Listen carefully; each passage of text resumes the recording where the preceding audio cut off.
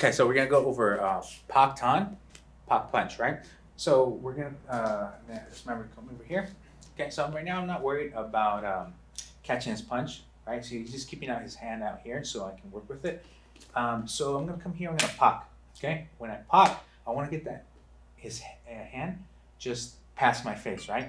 So I wanna make room for my Tan Sau to come straight forward, okay? I don't wanna come here and have my Tan Sau go from the outside and coming back in. Okay? I just I make space and my hand comes in. Hand comes in, hand comes in, hand comes in. Right? Paktan, paktan, paktan, paktan. Okay, same thing on the other side. Right? So paktan, paktan, paktan, paktan, paktan. Uh, uh, switch back and forth. Other hand.